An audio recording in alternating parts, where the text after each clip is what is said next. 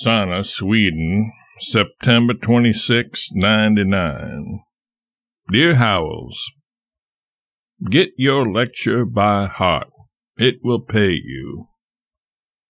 I learned a trick in Vienna by accident, which I wish I had learned years ago.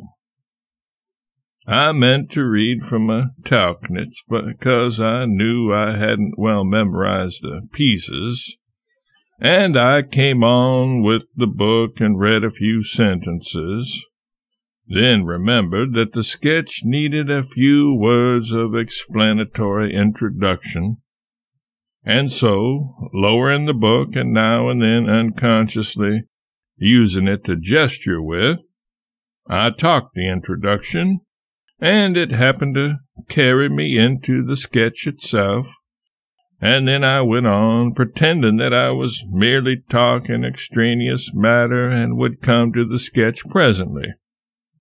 It was a beautiful success. I knew the substance of the sketch and the telling phrases of it, and so the throwing of the rest of it into informal talk as I went along limbered it up and gave it the snap and go and freshness of an impromptu.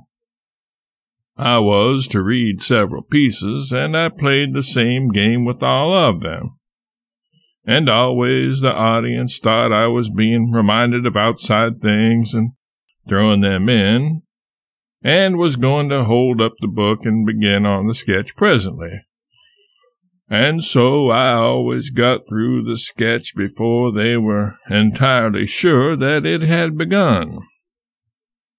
I did the same thing in Budapest and had the same good time over again.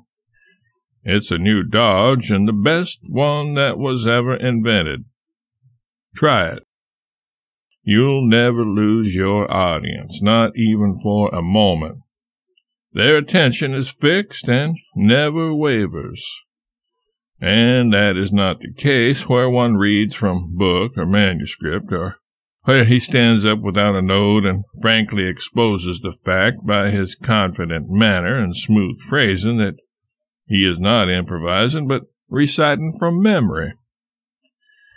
And in the heat of telling a thing that is memorized in substance only, one flashes out the happiest suddenly begotten phrases every now and then. Try it.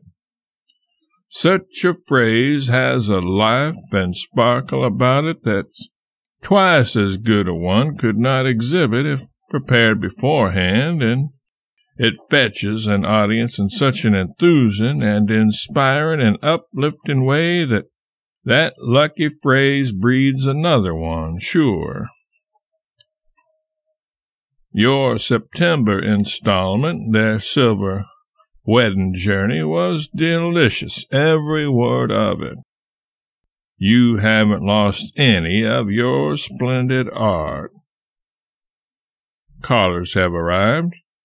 With love, Mark.